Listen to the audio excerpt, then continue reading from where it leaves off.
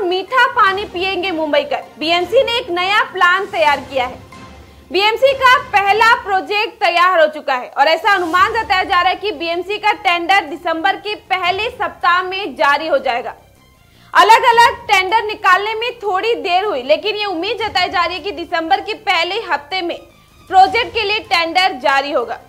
इस प्रोजेक्ट से मुंबई को हर दिन 200 एमएलडी पानी मिलेगा।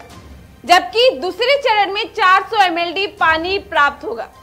मुंबई में पानी की किल्लत को दूर करने के लिए प्रोजेक्ट काफ़ी महत्वपूर्ण है और बीएमसी ने इसके लिए डीपीआर और सर्वे का काम भी पूरा कर लिया है। समुद्र के पानी को मीठा करने के लिए योजना पर बीएमसी आगे बढ़ रही है और टेंडर का फाइनल प्रारूप भी तैयार हो चुका है। इसके लिए पीने योग्य पानी बनाने में बीएमसी सोलह सौ रुपए खर्च कर रही है।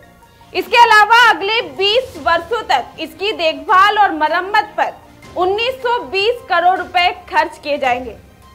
इस प्रोजेक्ट को पूरा करने के लिए वर्क ऑर्डर भी जारी कर दिया गया है और इस प्रोजेक्ट के शुरू होने से अब मुंबई का समंदर का मीठा पानी पिएँगे।